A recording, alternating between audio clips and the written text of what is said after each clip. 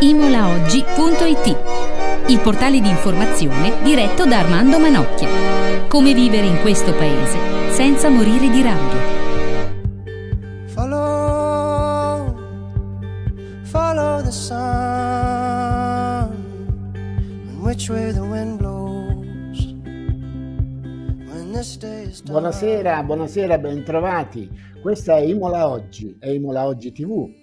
Dopo 25 anni online dal 1997, Imola oggi sbarca sulla web TV e eh, ho il piacere di avere ospite per questa bellissima puntata Tommaso Minniti. Chi è Tommaso Minniti? Tommaso Minniti è un attore, un regista, in questo caso soprattutto un regista perché lo intervistiamo in quanto ha realizzato questo bellissimo documentario, questo film, questo docufilm come si dice, su Aldo Moro, eh, un, diciamolo pure, anche abbastanza controverso, anzi anche abbastanza ostacolato, eh, che in qualche modo, adesso poi ci spiegherà lui, ha dovuto in qualche modo, come dire, ehm, eh, presentarlo eh, in maniera clandestina, diciamo, diciamo così. Ecco.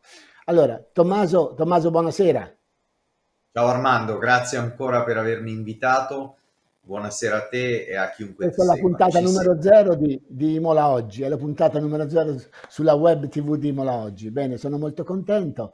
E, ehm, grazie, ringrazio la regia, ringrazio assolutamente Francesco che, ehm, che, che, che gestisce questa situazione perché io eh, è risaputo che sono abbastanza imbranato, però insomma vabbè, nessuno è perfetto.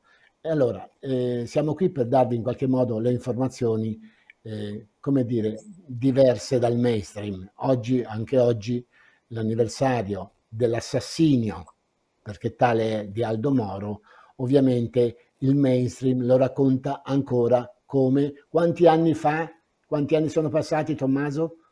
40? 44.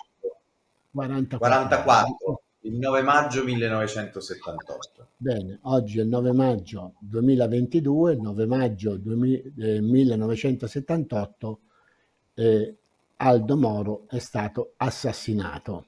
Loro dicono da, mentre invece questo oh, documentario che è circostanziato ovviamente da, come dire, da, da documenti inconfutabili, eh, che ha curato il giornalista. Dillo pure, dillo pure Tommaso. Sì, beh, l'inchiesta è del giornalista Paolo Cucchiarelli e è naturalmente la base di tutto il nostro lavoro. Certo, bravissimo Tommaso Cucchiarelli. Allora, eh, la domanda che ti faccio per iniziare questa, questa puntata è questa. Eh, I giovani oggi, i ragazzi di oggi, che cosa sanno di questo assassinio, di questa strage? Eh, intendo dire, devono comunque assorbire, devono comunque metabolizzare la solita narrazione che ci hanno raccontato a noi per 44 anni? Dunque Armando, i giovani nulla sanno, nulla sospettano come forse è normale che sia. Io ricordo quando ero giovane io, d'altronde è anche abbastanza inutile fare la retorica dei giovani che non hanno la memoria storica ehm, piuttosto bisognerebbe piuttosto lasciarli stare i giovani piuttosto che naturalmente inculcar loro delle robe che non stanno più né in cielo né in terra. Eh, la memoria storica è una cosa molto complessa, complicata, che si sedimenta non solo attraverso l'informazione, anzi direi proprio non attraverso l'informazione, quanto piuttosto il lasciare che l'intuizione abbia il suo svolgimento nel corso della vita di un giovane e mm, la capacità di apprendere secondo criteri eh, nuovi e antichissimi. Eh, questa è una capacità che i giovani possono ovviamente sviluppare durante gli anni, quindi quel che si fa nella nostra orribile e malandata scuola è quello di dare qualche informazione, qualche nozione e quindi anche sul caso Moro, per esempio noi apriamo il documentario proprio intervistando dei ragazzi di Bari ehm, e uno di questi mi dice ma noi abbiamo studiato Napoleone ma questo Moro mm, non c'è molto familiare esattamente così, si tratta Moro e Napoleone come semplici, come una cronologia di informazioni una via l'altra e quindi questo è del tutto inutile. Noi abbiamo provato, e io personalmente, essendo un artista, quindi non essendo né un pedagogo, né un giornalista, né un analista politico, e, e Dio me ne guardi, a imitare uno di questi, io essendo un artista ho provato a dare questa, a questa storia fortemente appoggiata su un'inchiesta direi incontrovertibile del giornalista Paolo Cucchiarelli, ho provato a dare una, un andamento molto umano, molto di emozione molto profonda perché penso che se i giovani hanno una speranza oggi è, è quella di attraverso l'emozione, attraverso l'intuizione che è propria dei giovani, non di noi vecchi o adulti, mh, mm, ma attraverso l'intuizione e l'emozione aprire una stradicella nuova che può portare ora a capire la storia Tommaso, dell'Italia e domani a capire Tommaso, cosa stanno facendo Secondo me, siccome io um, questo uh, film l'ho visto e l'ho rivisto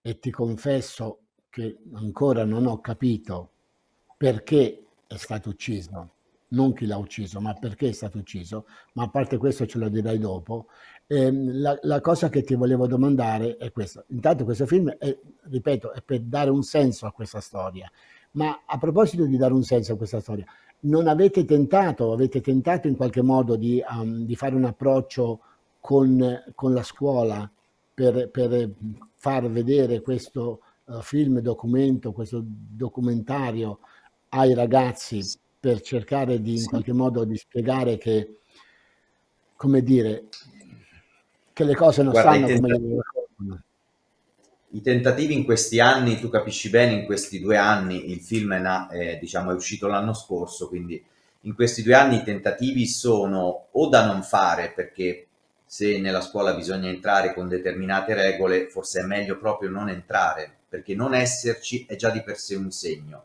come non essere entrati alle poste era già di per sé un segno.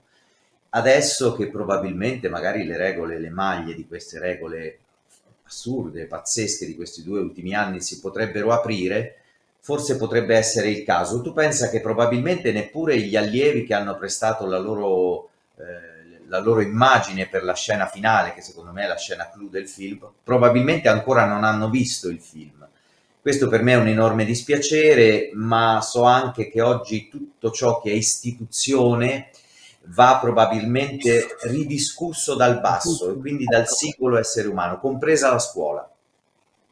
Tommaso, approfitto a, proposito di questo, eh, perché tu possa dire in qualche modo, al di là della promozione, insomma, al di là della propaganda, al di là della pubblicità, com'è possibile vedere questo docu, docufilm? Ah beh, guarda, dunque, noi abbiamo tentato ovviamente la strada inizialmente delle, delle, delle case di distribuzione, le quali ci hanno detto apertamente, se volete qualche spiraglio dovete mettere il vostro lavoro in un cassetto e poi ci pensiamo noi. Ovviamente noi abbiamo aperto quel cassettino, ci siamo ripresi il nostro film e siamo andati in un sito web molto semplice eh, www.noneuncasomoro.com dove se volete potete noleggiare il film, acquistare la visione oppure, io lo consiglio sempre, acquistare questa chiavetta USB che si apre così perché se no mi dicono come diavolo si apre questa carta di credito certo, certo. è una carta di credito ma è un oggettino è la stessa domanda che ti ho fatto io quando me l'hai mandata ce lo siamo inventati perché molti ci dicevano noi vogliamo qualcosa di solido da tenere in casa in effetti hanno ragione perché con l'online tu lo sai bene eh, Tommaso cosa ne dici? facciamo vedere un piccolo contributo non vogliamo invadere troppo scoprire troppe cose, ma un contributo facciamolo vedere. Direi di sì.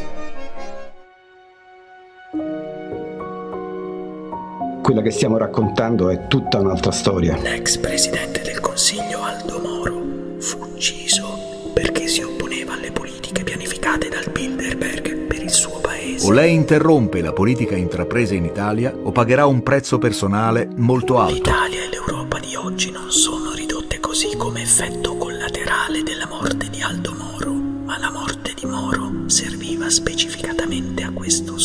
questo l'obiettivo sul quale eh, le Brigate Rosse si muovono al momento in cui avviene il rapimento. Questa forza dove la vogliamo collocare? Oltreoceano? Beh, l'oceano c'è di destra e c'è di sinistra. Ma sta oltreoceano? Sta oltreoceano.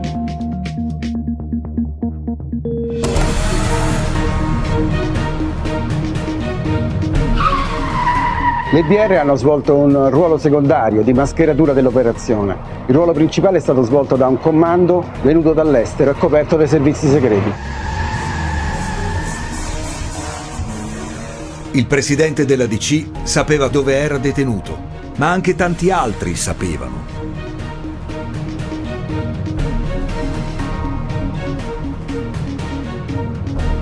Vi è un elemento indicibile, la scoperta del prigioniero e l'impossibilità di salvarlo.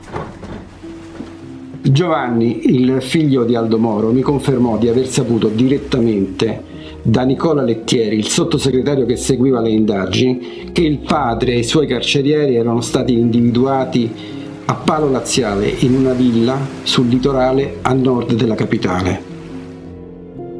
Entra in gioco, al di là di ogni considerazione umanitaria che pure non si può ignorare, la ragione di Stato soprattutto questa ragione di Stato, nel caso mio significa che io mi trovo sotto un dominio pieno ed incontrollato, sottoposto ad un processo popolare che può essere opportunamente graduato, che sono in questo stato avendo tutte le conoscenze e sensibilità che derivano dalla lunga esperienza, con il rischio di essere chiamato o indotto a parlare in maniera che potrebbe essere sgradevole e pericolosa in determinate situazioni.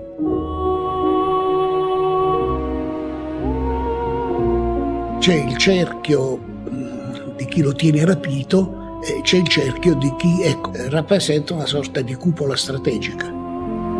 La frase che ricordo distintamente è Moro vivo non serve più a nessuno. Cossiga piangeva mentre Andreotti pronunciava questa frase. Noi sapevamo eh, quello che io prima chiamavo la cupola strategica, di essere eh, un paese la cui struttura dei servizi era una struttura eh, sotto sorveglianza, sotto tutela.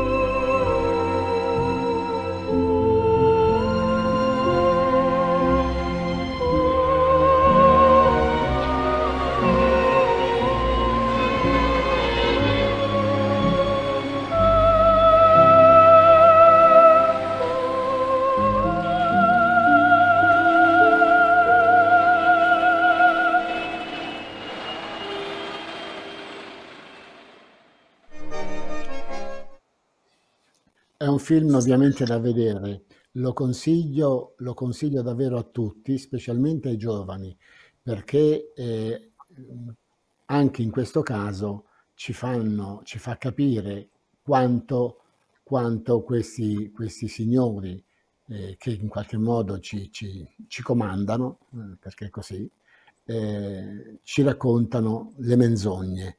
Ecco, Tommaso, con i fiumi di inchiostro che sono stati eh, non, versati per scrivere libri, articoli su questa bruttissima vicenda del nostro paese, che ha segnato proprio la vita del nostro paese, e c'era bisogno di fare questo, questo film? Beh, dunque, innanzitutto, evidentemente ho avuto bisogno io di fare il film quindi se ho avuto bisogno io di fare il film, io intuisco che hanno bisogno di questo film i bambini dai 5 anni e gli adulti fino ai 99 anni. Ovvero, ehm, penso che questo film, che io ho chiamato film, non è un semplice documentario, eh, veramente tiri una, una linea di demarcazione fra tutta l'immondizia che si è scritta e che si è raccontata, ma anche in buona fede probabilmente, cioè in buona fede perché? Perché avendo lo Stato messo l'asticella oltre la quale non era possibile dire, raccontare, fare storia, eh, evidentemente tutto il mondo, che sia giornalistico, che sia eh, così intellettuale, accademico, eh, ma anche politico, eh, si è attenuto a questa asticella. Noi, e io devo dire grazie ovviamente sempre di più a Paolo Cucchiarelli, eh, io sono stato messo in contatto con Paolo attraverso Maria Fida Moro, la quale mi dice se tu non leggi queste due opere, che sono i due libri di Paolo, Morte di un presidente e L'ultima notte di Aldo Moro, tu non potrai capire cosa realmente è stato progettato e realizzato in quei 55 giorni di rapimento di Aldo Moro. Io leggo questi due libri di Paolo, lo contatto immediatamente, ci vediamo sotto la lapide di Aldo Moro in via Caetani a Roma e lì semplicemente con poche parole decidiamo che era arrivato il momento di raccontare tutto quello che avevamo capito. Lui con un'inchiesta decennale, io con le mie strade, i miei percorsi. E quindi abbiamo semplicemente spostato l'asticella, ecco perché il mondo del giornalismo, la politica, tutti fanno finta che questo docufilm non sia uscito e ci credo e, e sono anche contento di questo. Um, perché è necessario? Beh, perché io credo che oramai siamo arrivati a un punto di malattia sull'uomo che se non facciamo macchina indietro al più presto possibile ehm, avremo molti problemi e rischiamo di finire veramente male questa umanità questo, in questo nostro tempo che ci è dato da vivere e quindi non ne possiamo vivere un altro, è affetta da quello che oggi per fortuna molti analisti chiamano dissonanza cognitiva, noi ne parlavamo già nel 2015-16, ehm, che è una sorta di effetto paralisi che sta toccando agli individui e che sta toccando ai popoli, al popolo. Io ti dico perché eh, naturalmente ti ripeto, non sono un giornalista, non sono un analista politico, però proprio perché sono un artista mi permetto di dire cose che forse gli altri non dicono. L'effetto paralisi è dovuto sostanzialmente a questo fatto, cioè ehm, mentre in precedenza il popolo, così come l'individuo, ha creduto per anni e per decenni nella cosiddetta democrazia, nello Stato di diritto e quindi anche inconsciamente pretendeva dallo Stato di essere salvato di essere soccorso, di essere sfamato, oggi noi dentro di noi abbiamo capito chiaramente che lo Stato non può più fare questo e non ce lo garantirà più. Noi inconsciamente c'è un inconscio che è l'inconscio collettivo che sa perfettamente che lo Stato non ci salverà più e non è messo lì per salvarci. Per cui mentre una volta il popolo e l'inconscio collettivo chiedeva allo Stato, al Leviatano, salvaci, Oggi la cosa curiosa e incredibile che in questi due anni ho, ravvisato in modo palese, il, l'inconscio collettivo sta chiedendo al Leviatano divorami purché io non me ne accorga, che è una cosa suicidiaria. E quindi noi dobbiamo in qualche modo fermare questo, ma come farlo? Io me lo sono chiesto tante volte, visto che il livello istituzionale oramai è già preso, il livello eh, intellettuale è già cooptato, venduto, il livello pol- politico, sociale, anche collettivo è già corrotto. L'unico ente, soggetto da cui si può ricominciare è l'uomo, è l'individuo, possibilmente giovane, possibilmente giovanissimo. E l'unico modo per arrivare all'individuo possibilmente giovane e incorrotto è probabilmente un'opera che non solo con, con la inchiesta di Paolo parla alla testa, ma con una forse certa mia abilità, con le musiche meravigliose di Johannes Wickler, entra dritta al cuore dell'individuo, per cui noi abbiamo trasformato questa inchiesta giornalistica potentissima in una storia umana potentissima che allude potentemente all'oggi, non è un, un ricamo storiografico, voglio dire, allude potentemente certo. all'oggi e probabilmente dà una strada ai giovani, ai grandi, agli adulti che sono padri e madri per capire dove ci vorrebbero portare e dove sarebbe forse più utile andare a finire invece. Eh, Tommaso, permettimi, mandiamo un altro contributo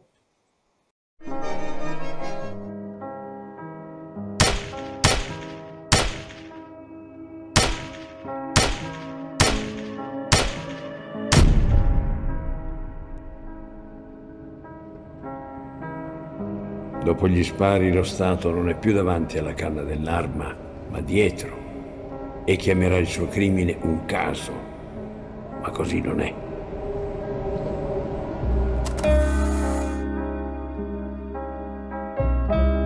mi ricordo perfettamente che il Santo Padre un giorno, in uno di questi incontri, gli domandò, ma io voglio avere una prova che lui è vivo, che non ha avuto maltrattamenti, che non è ferito. È pronto?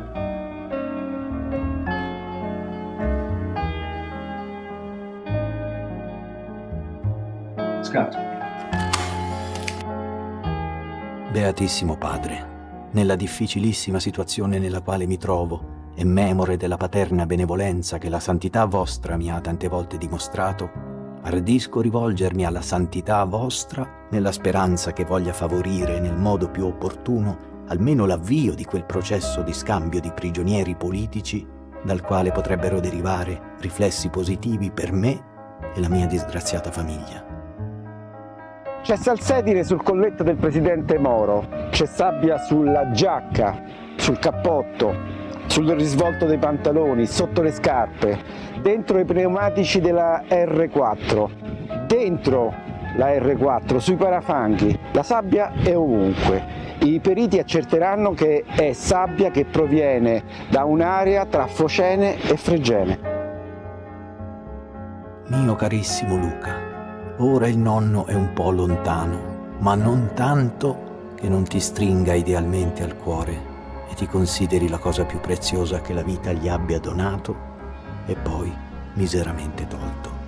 Non era nulla che potesse essere deciso dall'area brigatista, le decisioni erano avvenute ed erano state poi eseguite eh, altrove, a mio avviso. Contro una delle personalità più evidenti della vita politica. Avviene tutto un processo che porta o dovrebbe portare alla riconsegna, in quel momento avviene un intervento tangenziale e questo intervento tangenziale uccide.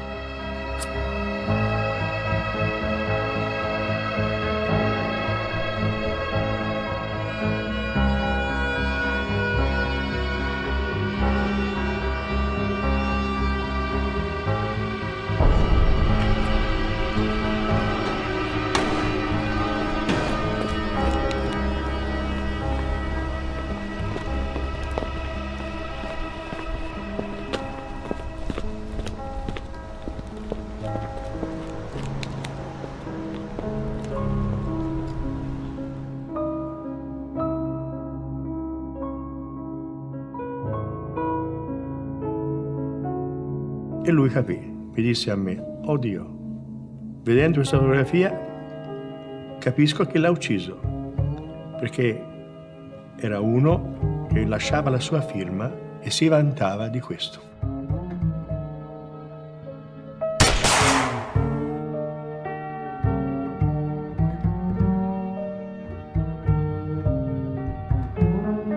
Qualche volta quando si dice il potere Ecco, avevamo il senso che il potere non l'avevamo, perché se l'avessimo avuto davvero, avremmo davvero trovato il modo di liberare Aldo Moro. È una strategia di manipolazione. Si crea un problema per causare una certa reazione da parte del pubblico, con lo scopo che sia lui il mandante Onorevoli deputati, cittadini, uomini.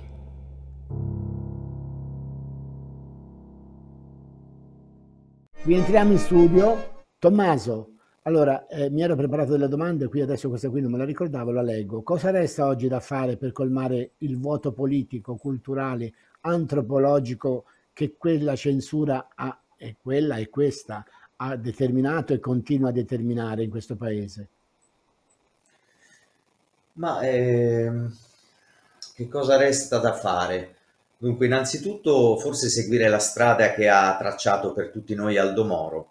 No? Il 9 maggio è una data storica, a differenza di altre date, noi non ci ricorderemo mai, per esempio, quando è morto so, Andreotti, quando è morto Zaccagnini, ma financo quando è morto Pertini, quando è morto Cossiga, quando è morto non so chi, non ce lo potremo mai ricordare, non ce lo ricorderemo e forse perché non è utile al tempo d'oggi ricordarsi queste date.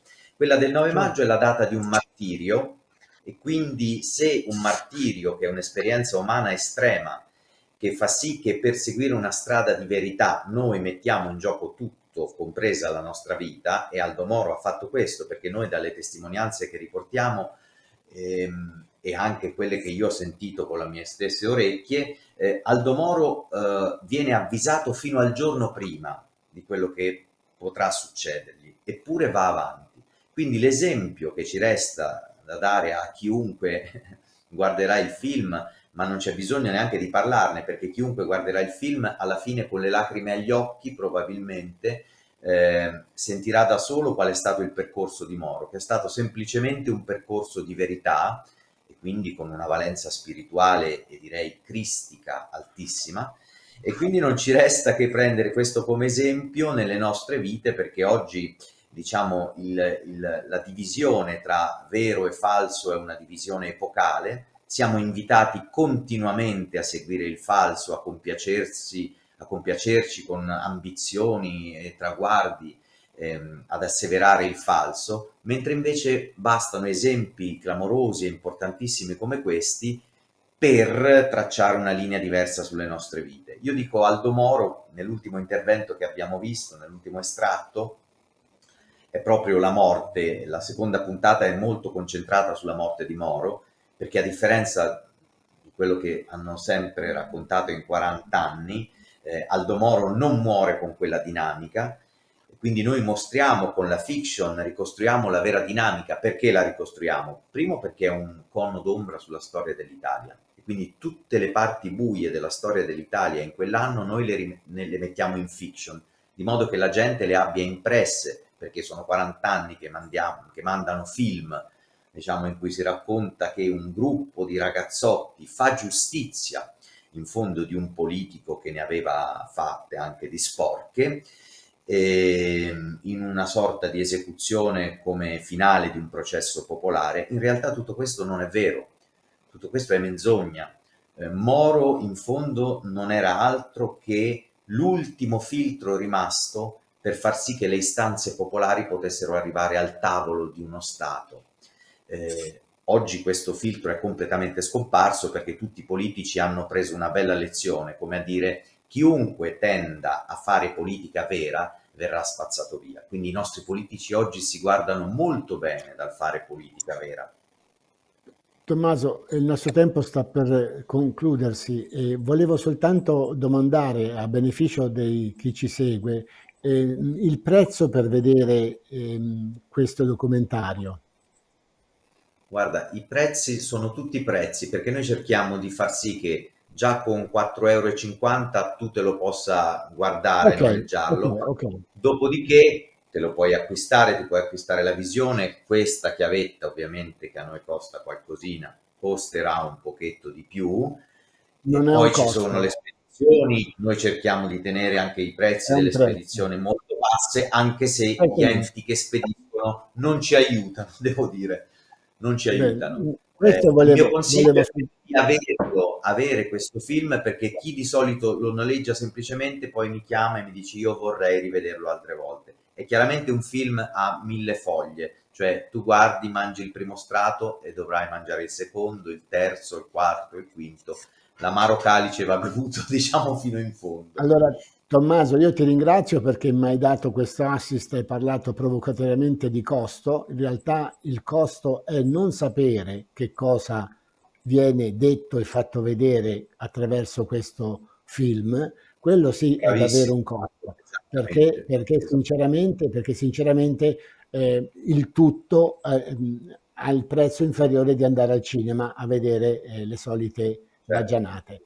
Io ringrazio Tommaso Minniti per, questa, per, questa, per questo spazio, per questa intervista. Grazie e, a te Armando, sei come al solito molto modo, ci ha permesso in qualche modo di ricordare questo che per me era, è stato un grande statista. Grazie, alla prossima puntata. Buona serata a tutti. imolaoggi.it il portale di informazione diretto da Armando Manocchia. Come vivere in questo paese senza morire di rabbia.